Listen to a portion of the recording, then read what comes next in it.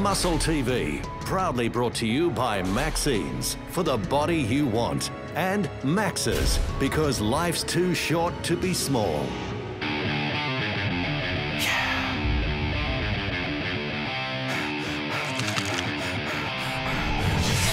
There's no cure for this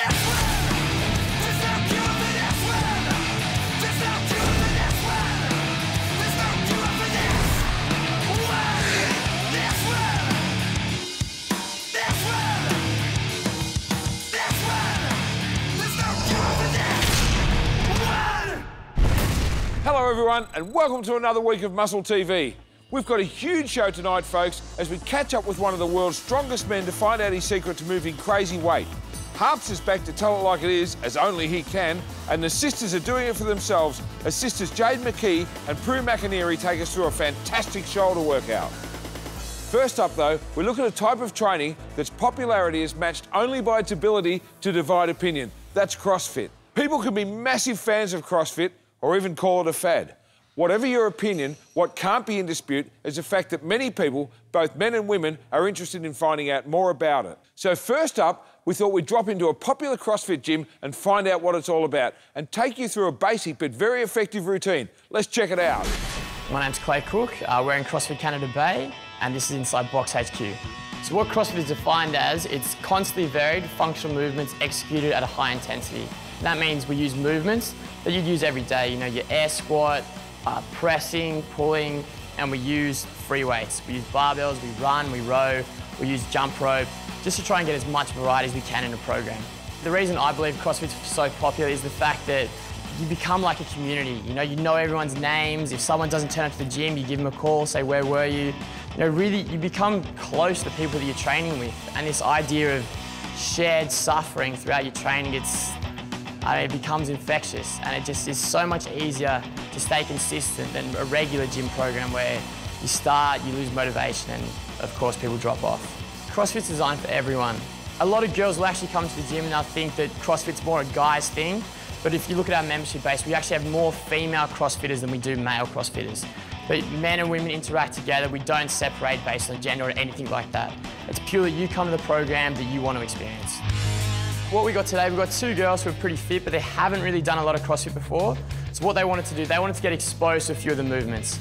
We're not going to do a traditional CrossFit workout. We're going to work in couplets. So we'll do two exercises back to back, three rounds, and we'll do that six times. So that means we've got six small little couplets, giving these girls that you know want to have a training session, want to experience CrossFit, allow them to experience lots of different movements.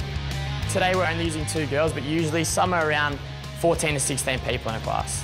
This is a sort of a basic to intermediate level program. You know, these girls have a fair bit of training experience behind them, but these specific movements they haven't done before.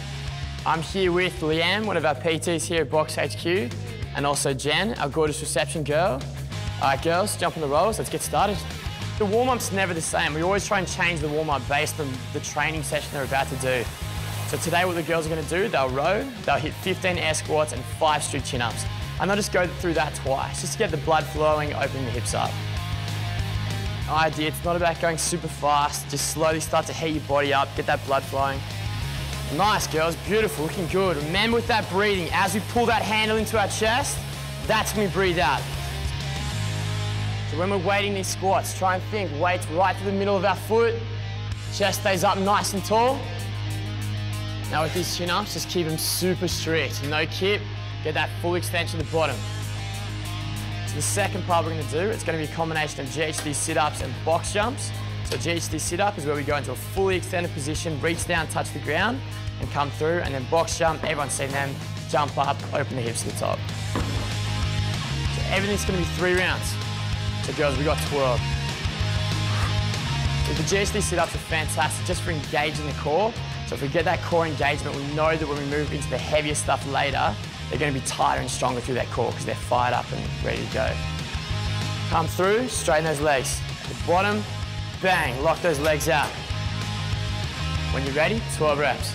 The fantastic thing about a box jump is that it forces you to be fast.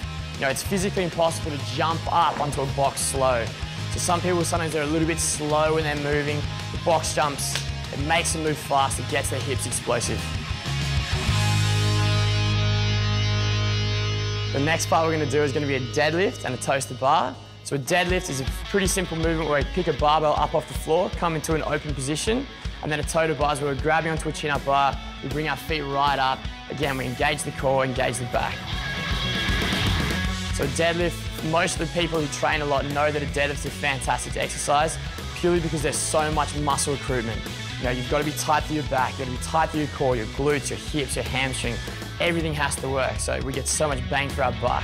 The reason why we're combining with a toe to bar today is because they're opposites. So deadlift, it's hard to open the hips, and then the toe to bar, we're forced to close the hips. So that's why we're interchanging those two. Beautiful. Feel that tension through your back. Stay nice and tight. Feel your core fire up. do what you need to do to get those reps done. So the next one we're to use is back squat. Again, the back squat's the king of all exercises. Deadlift's the queen.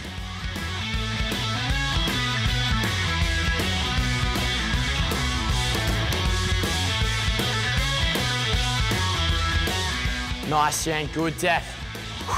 Good breathe out, Leanne. Excellent, excellent. The reason why we're gonna combine the back squat and the push-up today is because they're two different style of movements. So a back squat is a heavy external load, and then a push-up is what we would consider gymnastics movement or just a body weight movement.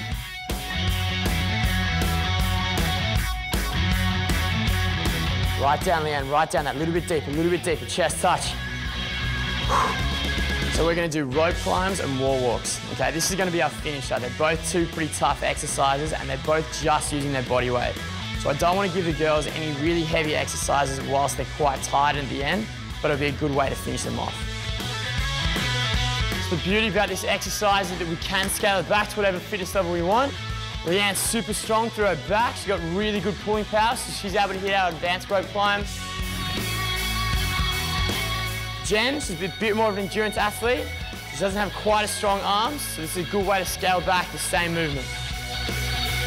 All right, so our wall walk. Start chest in the ground. First thing, butt up, big step, big step. Don't let those hips drop.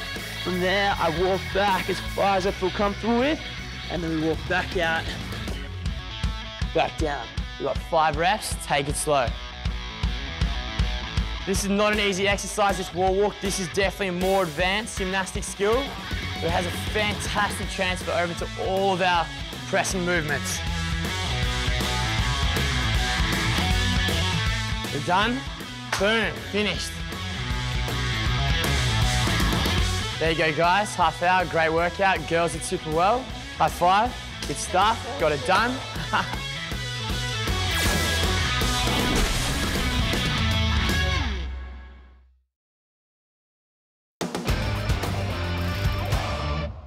So Goose 369 is a six-week program split into two three-week cycles. So we're looking to hit it from two angles, looking to increase strength and looking to increase muscle size right throughout.